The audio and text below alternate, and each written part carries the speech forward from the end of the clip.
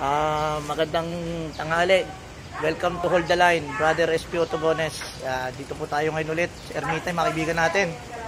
Si Nanay, oh, Nanay Helen. Tatanong lang natin sa kanya kung tungkol sa Bible. Ha? Tatanong natin kung sino yung ah, batang-batang hari ng Israel na nakapatay kay Goliath. Lalaman natin sino.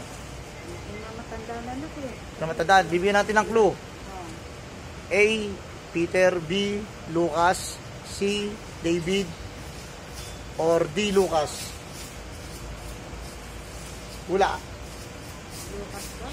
Lucas ang sagot nanay Ang sagot ay si King David Letter C Pero bibigay pa rin natin itong ating ano kay nanay ha Mula po sa Makati City Police Station Nanay Ellen, bati ka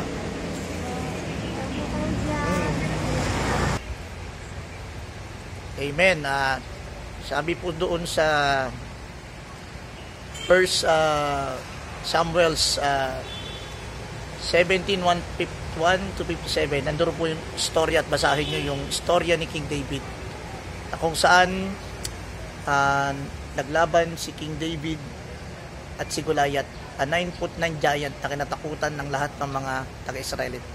Pero napatay lamang ni King David sa pamamagitan ng teritoryo.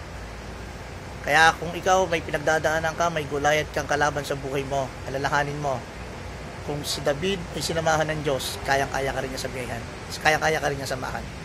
Mula po sa Makati City Police Station, Brother Police Senior Master Sergeant Raldo Mones, welcome to Hold the Line Bible Trivia Contest. God bless.